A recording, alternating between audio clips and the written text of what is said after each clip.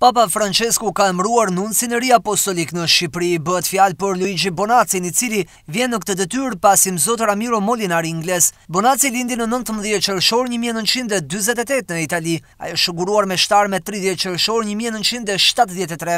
Ka një doktoraturë në shkencat e edukimit nga Universiteti Papnor Salezian në Romë dhe një licencë në teologji dhe në drejtësinë e kanunit nga Universiteti Papnor Lateran, Po në Romë. Bonazzi ka hyrë në shërbimin diplomatik të Selisë së Shenjtë prej njëzet e pesë marsit një mijë e nëntëqind e tetëdhjetë dhe shërbeu në misionet diplomatike të kësaj selie në Kamerun, në Trinidad, Tobago, Maltë, Mozambik, Spanjë, Shtetet e Bashkuara të Amerikës dhe Itali.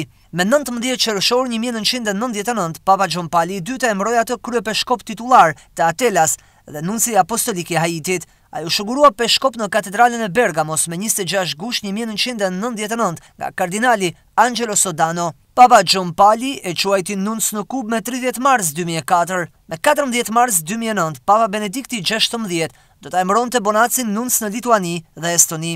Ndërkohë, Papa Françesku e emëroi atë nunc së fundmi në Kanada me tetëmbëdhjetë dhjetor dy mijë e trembëdhjetë dhe tashmë, prej këtij dhjetori dy mijë e njëzet, Ai është nunci i ri apostolik në Shqipëri dhe pritet që, së shpejti, të marrë zyrtarisht këtë detyrë në vendin tonë.